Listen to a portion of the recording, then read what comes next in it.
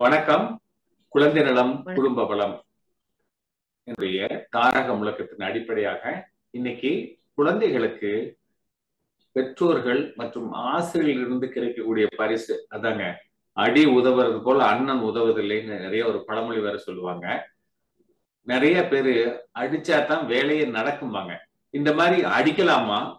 அரசு நிறைய ஆணைகள் பிறப்பிச்சிருக்கு. பள்ளிக்கூடங்கள்ல ஆசிரியர் குழந்தையை தொடக்கூடாதுன்னு சொல்றோம்.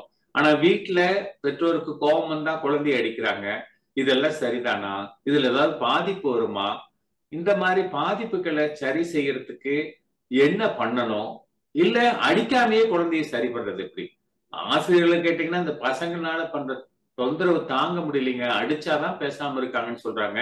இதுக்கு ஒவ்வொரு பள்ளிக்கூடத்திலையும் ஒரு ஆசிரியர் இருப்பார். அவர் தான் உடற்கல்வி ஆசிரியர். அவர் கையில எப்பவும் பெரம்பு இருந்துட்டு இருக்கோம்.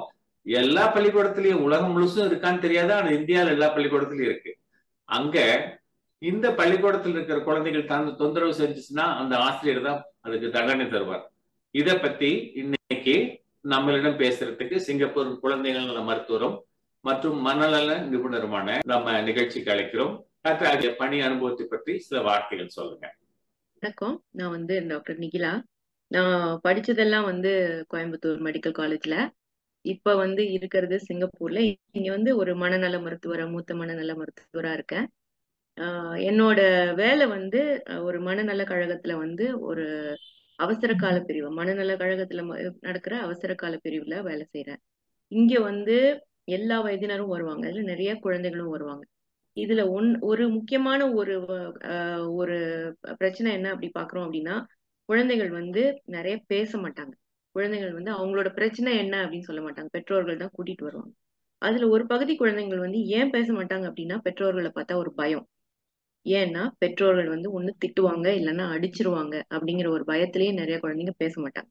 எந்த வயசு குழந்தையா இருந்தாலும் சரி நாங்க வந்து ஆறு ஏழு வயசு குழந்தையில இருந்து பாக்குறோம். பெரிய குழந்தைகள் பதின பதினெட்டு பத்தொன்பது வயசு குழந்தைங்களும் வருவாங்க.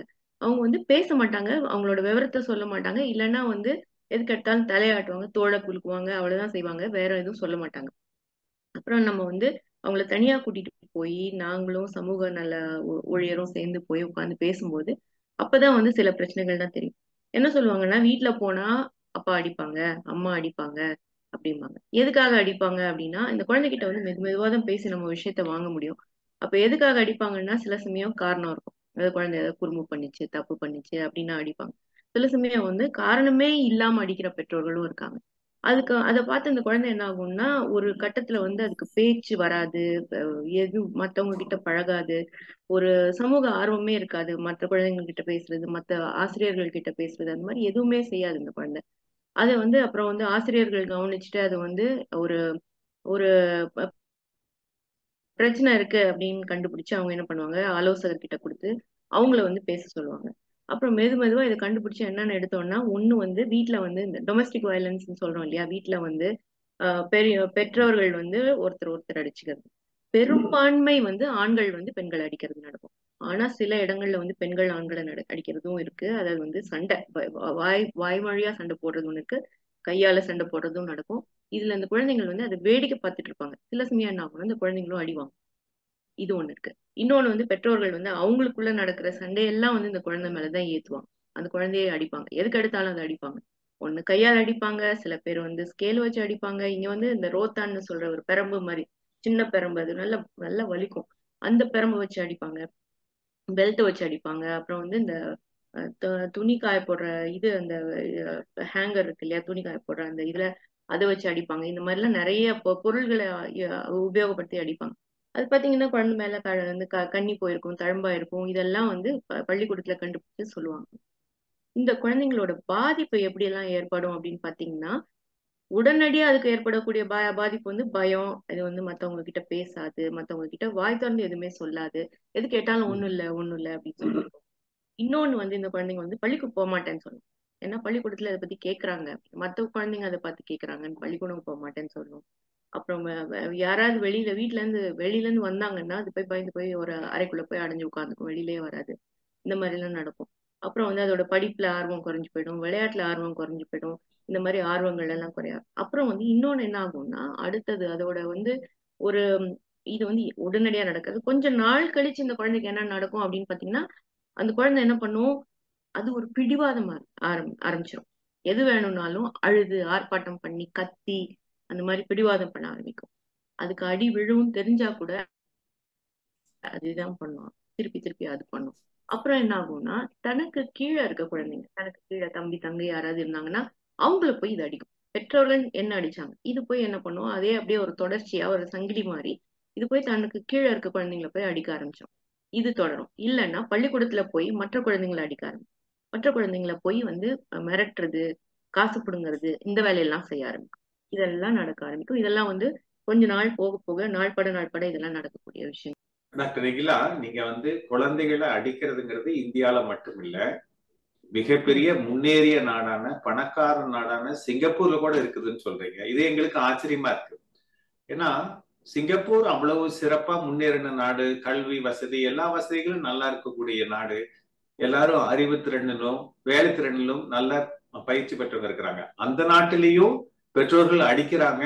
அந்த மாதிரி அடிபட்டு வரக்கூடிய குழந்தைகளுக்கு அவசர சிகிச்சை பிரிவு ஒண்ணு வச்சிருக்கீங்க. அதுல நீங்க வேலை செய்யறீங்க அப்படிங்கறதே ஒரு புதிய விஷயமா இருக்கு. அந்த அளவுக்கு அந்த ஊர்லயும் இருக்கா? இதுக்கு அடிக்கிறதுங்கிறது நம்ம சமுதாயத்துல மட்டும் நான் முதல்ல சொன்ன மாதிரி அடி உதவுற மாதிரி அண்ணன் தம்பி உதவ மாட்டாங்கிற வார்த்தை உலகம் முழுசும் எல்லா இடங்களிலும் இருக்குதா? எல்லா சமுதாயங்களிலும் இருக்குதா? எல்லா சமுதாயங்கள்லயும் இருக்கு. ஆனா வந்து அதை வந்து அவங்க எதிர்கொள்ற விதமும் அதை வந்து- அதை நோக்குற பா பார்வையும் கொஞ்சம் கொஞ்சம் மாறிட்டு வருதுன்னு சொல்லலாம். சில தேசங்கள்ல இப்ப அமெரிக்கா மாதிரி சில தேசங்கள்ல வந்து குழந்தைங்களை வந்து கண்டிக்கவே கூடாது அடிக்கவே கூடாது. அப்படி ஏதாவது பண்ணுனா அந்த குழந்தை வந்து ஆஹ் அவங்களோட அவங்க நம்ம நம்ம ஊரோட நூறு மாதிரி அவங்க ஊர்ல வந்து ஆஹ் ஒன்பது ஒன்பது ஒன்பது என்னமோ ஒரு நம்பர் இருக்கு. அந்த நம்பருக்கு கூப்பிட்டு உடனே வந்து போலீஸை கூப்பிடலாம் காவல்துறையை கூப்பிடலாம் அப்படின்னு ஒரு வ- வழிமுறை இருக்கு. அதே மாதிரி இந்தியாவிலையும் பத்து இருக்கு. சைல்டு அபியூஸ் சைல்டு ஹெல்ப்லைன் இருக்கு. அஹ் சிங்கப்பூர்லயும் நீங்க சொன்ன மாதிரி எல்லா இடங்களிலும் இருக்கலாம். எத்தனை பேர் இருக்கு? ஆனா வந்து எத்தனை பேர் எத்தனை குழந்தைங்க வந்து அதை உபயோகப்படுத்துறாங்க அப்படிங்கறது எனக்கு தெரியல. அதோட புள்ளி விவரம் எனக்கு தெரியல. ஆனா வந்து சிங்கப்பூர்ல வந்து ஒரு குழந்தைங்களை வந்து கண்டிக்கலாம் தண்டிக்க கூடாது அப்படிங்கிறது வந்து ஒரு ஒரு வழிமுறையா இருக்கு ஒரு ஒரு வாழ்க்கை முறையா இருக்கு. ஆனா தண்டிக்கிறதும் கண்டிக்கிறதும் நடந்துகிட்டு தான் இருக்கு. நாங்களும் நிறைய பார்த்திருக்கோம். நான் வேலை பார்க்கறது வந்து மனநலத்துறையோட அவசர பிரிவு. ஆனா வந்து இந்த குழந்தைகள் வந்து குழந்தைகளுக்குன்னு ஒரு மருத்துவமனை இருக்கு. அங்கேயும் போவாங்க. எங்க மருத்துவமனைக்கும் சில குழந்தைங்க வருவாங்க. அதுலதான் நான் வந்து நான் பாக்குறது ஒரு சிறு பகுதி தான் நான் பாக்குறேன் ஆனா வந்து அதையே வந்து நமக்கு வந்து அந்த அதுவும் அந்த குழந்தை வந்து அந்த மாதிரி ஒரு அடிபட்டு கஷ்டப்பட்டு வரும்போது பார்க்கும்போது நமக்கு ரொம்ப கஷ்டமா இருக்கும். அதனாலதான் வந்து அதை பத்தி மத்தவங்களுக்கு வந்து எடுத்து சொல்லணும் அப்படிங்கறது வந்து நான் வந்து ரொம்ப நாளா நினைச்சிட்டே இருந்தேன். இது வந்து பெற்றோர்களுக்கு வந்து குழந்தை மேல ஒரு பொறுப்பு இருக்கு.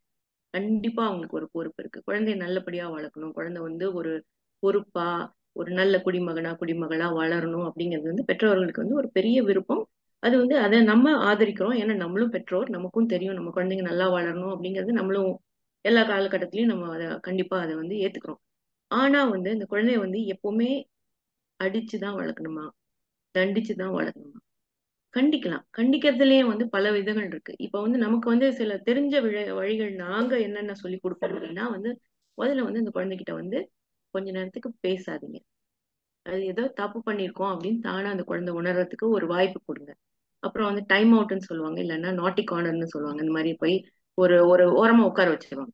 அதுக்கு கொடுக்க வேண்டிய விளையாட்டு பொருளோ அந்த ஃபோன் கொடுப்பாங்க விளையாட்டு பொருள் கொடுப்பாங்க. இல்ல அதுக்கு அன்னைக்கு கொடுக்க வேண்டிய ஒரு நல்ல ஒரு ஐஸ்கிரீம் சாக்லேட் அதெல்லாம் கொடுக்காம ஒரு இடத்துல உட்கார வச்சிருவோம் உட்கார வச்சு அது தானா அது வந்து தன்னோட தன் மேல ஏதோ தப்பு அப்படிங்கறத இந்த குழந்தை உணர ஆரம்பிக்கும். இப்ப வந்து பெற்றோர்கள் அது மேல எந்த கையும் வைக்கல அடிக்கல எதுவுமே செய்யல. உட்கார்ந்து கொஞ்ச நேரம் கழிச்சு அந்த அந்த நேரம் முடிஞ்சோன்னு அரை மணி நேரம் இருபது நிமிஷம் அந்த மாதிரி நேரம் கொடுத்துருப்பாங்க. அதுக்கப்புறம் அது எழுந்து வந்தோடனே இப்ப பேசலாமா அப்படின்னு கேட்பாங்க. பேசலாம் அப்படின்னு அந்த குழந்தை குழந்தையும் ஒத்துக்கணும் பெற்றவங்களும் ஒத்துக்கணும். அதுக்கப்புறம் வந்து நீ வந்து இன்னைக்கு பண்ண காரியம் என்னன்னு உனக்கு தெரியுமா? நீ தப்பு பண்ணன்னு எ- எடுத்தோடனே சொன்னோம்னா அந்த குழந்தை வந்து அப்படியே வந்து என்ன பண்றது? அப்படியே சுருங்கிடும் நத்தை சுருங்குற மாதிரி சுருங்கிட்டு அதுக்கப்புறம் பேசாது. அதாவது வந்து இன்னைக்கு நீ என்ன பண்ண? என்னென்ன நடந்துச்சு? சொல்லு. அப்படின்னு இல்லைன்னா பொது விஷயமா ஏதாவது பேசிட்டு அதுக்கப்புறம் நீ இப்போ ஒரு வேலை செஞ்சில அதை பத்தி உனக்கு பு- நீ என்ன பண்ணன்னு உனக்கு புரியுதா? அதுல வந்து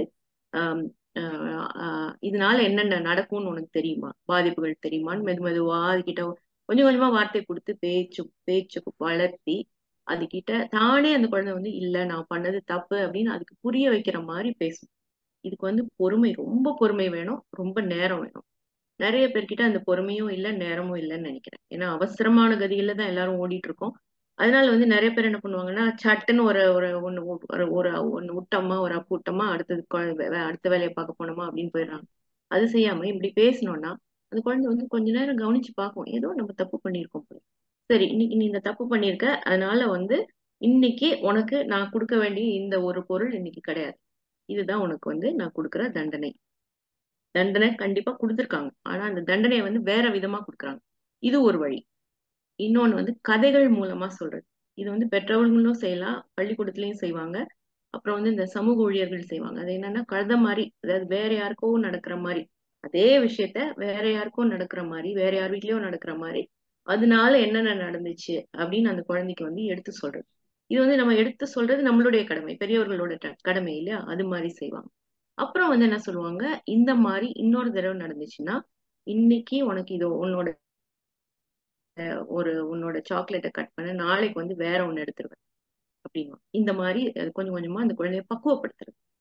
இதுதான் வந்து நல்ல வழிமுறை. ஏன்னா குழந்தைக்கு வந்து தன்னோட தப்பும் புரியும். திருப்பி இந்த மாதிரி செய்யக்கூடாதுன்னு புரியும். இதே தவிர போய் மத்த இடத்துலயும் செய்யாது. இதே வாம் இந்த தண்டனை முறையை வந்து மத்- வேற இடத்துலயும் இது செய்யாது. அப்புறம் வந்து நல்ல நல்ல பழக்க வழக்கம் நல்ல ஒரு நடத்தை இருந்துச்சுன்னா அன்னைக்கு வந்து அதுக்கு ஒரு ஸ்டார் கொடுக்கறது. இத்தனை ஸ்டார் வாங்குனீங்கன்னா நீ பண்ண தப்பெல்லாம் வந்து நான் வந்து அதை வந்து நிவர்த்தி பண்ணி உனக்கு வந்து புதுசா ஒரு பரிசு பொருள் நீ வந்து இருபது ஸ்டார் வச்சிருந்தீங்கன்னா உனக்கு வந்து ஒரு பு- புது பரிசு.